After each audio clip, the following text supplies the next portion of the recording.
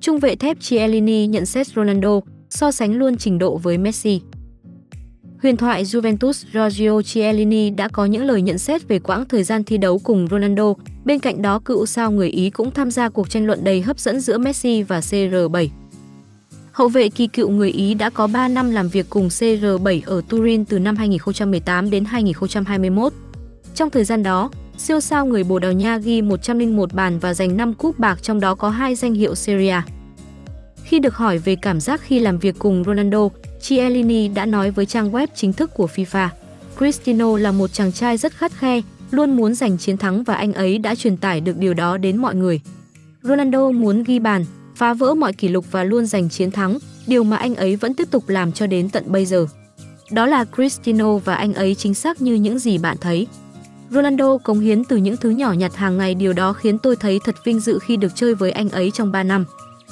Chiellini đã chơi cùng và đối đầu với rất nhiều cầu thủ vĩ đại nhất mọi thời đại trong suốt sự nghiệp thi đấu đầy vinh quang của mình.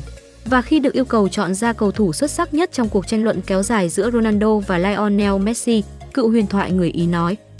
Những người khó khăn nhất mà tôi phải đối mặt chính là Messi và Ronaldo. Rất nhiều người ở đây hỏi tôi, ai giỏi hơn, Messi hay Ronaldo? Giống như bạn hỏi LeBron James và Michael Jordan vậy. Tôi không coi đó là một cuộc cạnh tranh, cả hai đều đứng đầu. Rõ ràng, vì tình cảm, tôi thân thiết hơn với Cristiano vì đã chơi cùng anh ấy, nhưng cả hai đều mạnh đến mức không thể có một và hai được. Trong số những cầu thủ mạnh nhất những người tôi từng chơi cùng chắc chắn có Buffon và Ronaldo. Buffon là thủ môn xuất sắc nhất trong lịch sử bóng đá, Cristiano nằm trong số 2, 3, 4 hoặc 5 cầu thủ xuất sắc nhất trong lịch sử môn thể thao này. Anh ấy chắc chắn nằm trong đền thờ của những cầu thủ bóng đá vĩ đại. Chiellini đã đối mặt với siêu sao người Argentina Messi ở MLS mùa trước, sau khi cầu thủ từng 8 lần giành quả bóng vàng gia nhập Inter Miami. Nhưng trung vệ 39 tuổi này đã quyết định treo giày và giải nghệ vào cuối mùa giải trước.